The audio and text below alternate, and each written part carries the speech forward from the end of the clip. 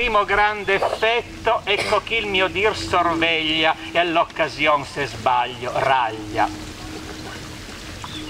Geraldina, la mia compagna asinina, in consigli specialisti e in calce spinte, ambela. Le fate che abitano le fiabe vengono dall'India. Guido Gozzano è stato in India, ma nelle sue fiabe di fate ce ne sono pochine.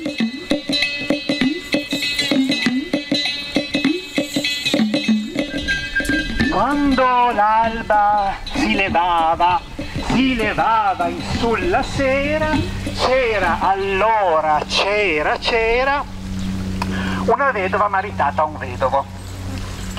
E il vedovo aveva una figlia della sua prima moglie e la vedova aveva una figlia del suo primo marito.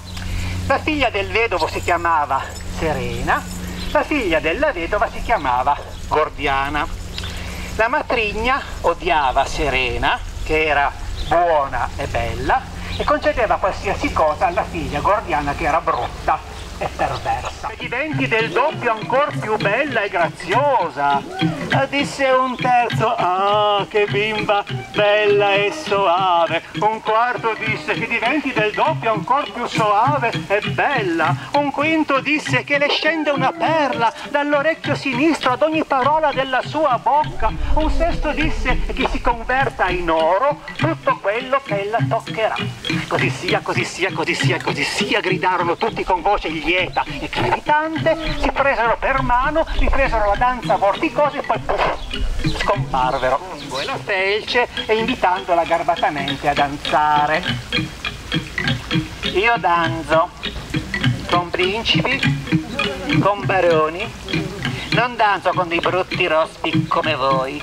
E gettò il fungo, e gettò la felce, e tentò di rompere il cerchio con calci o con pugni. Oh! Disse uno gnombo che bimba brutta e deforme, e un secondo disse che sia del doppio ancora più brutta, deforme, cattiva e villana, e che sia zoppa, e che sia gobba, e con lo scorpione le esca dall'orecchio sinistro ad ogni parola della sua bocca, e che si copra di melma ogni cosa che ella toccherà. Così sia, così sia, così sia, gridarono tutti con voce lieta e crepitante, ripresero il cerchio e poi... Serena, dove siete? Qui, maestà! Qui dove? Nel cofano di cedro. Allora il re prese la spada, forzò il cofano, aprì il coperchio e Serena balzò in piedi, pallida e bella. Il re la prese in braccio, la pose sul cavallo e insieme raggiunsero il corteo dove li aspettava. Serena salì sulla berlina reale e prese posto fra il fidanzato e il suocero. Furono celebrate le nozze reali.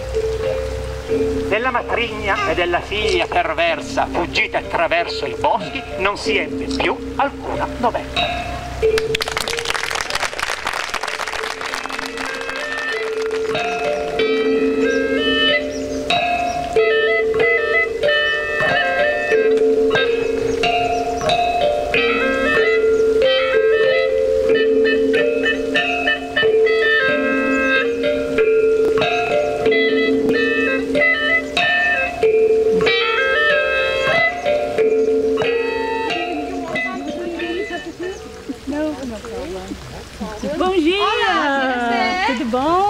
Bom?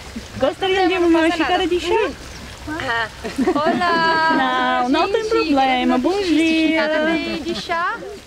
Goedendag mevrouw, wil u een kopje thee?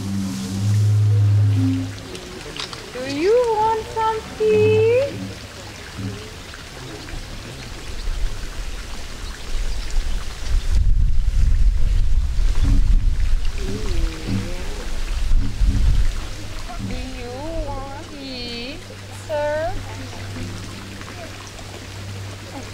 You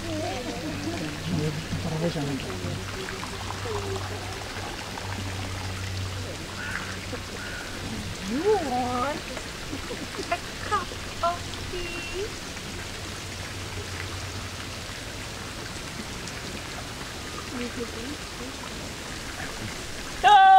Pa'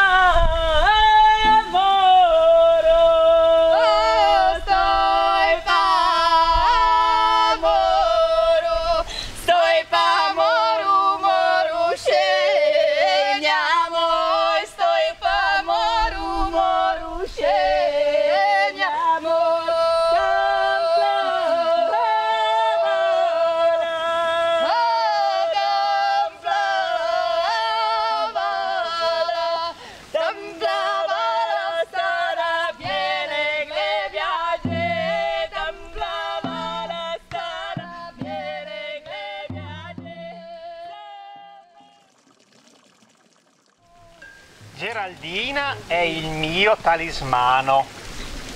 È l'animale magico che il protagonista della storia a un certo punto incontra e tac, tutto cambia. Senza Geraldina noi oggi non saremmo qui. Senza Geraldina le persone che sapevano le fiabe e le leggende che da anni non raccontavano più non me le avrebbero mai raccontate.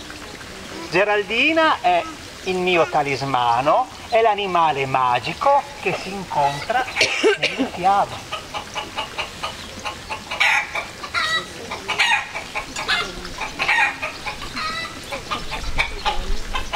Quando i polli avevano i denti e la neve cadeva nera, state tutti bene attenti, c'era allora, c'era c'era, quando i polli avevano i denti e la neve cadeva nera, state tutti bene attenti, c'era allora, c'era, c'era. C'era un vecchio contadino che aveva tre figlioli. Fattosi invisibile, Cassandrino tornò al paese natio, restituì ai fratelli i talismani recuperati e, sposata una compaesana, visse sereno fra i campi senza più tentare l'avventura.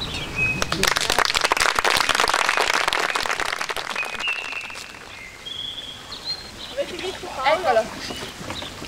Ah, C'è il tè. Paolo, il tè è pronto.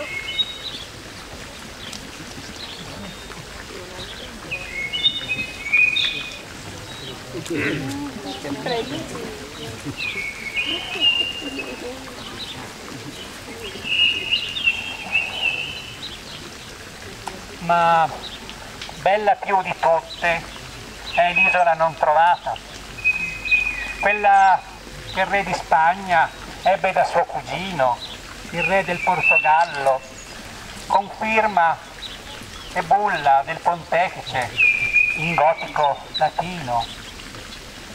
Si annuncia con il profumo come una cortigiana l'isola non trovata, ma se il pilota avanza, rapida si dilegua come parvenza vana, si pinge d'azzurro, color di lontananza.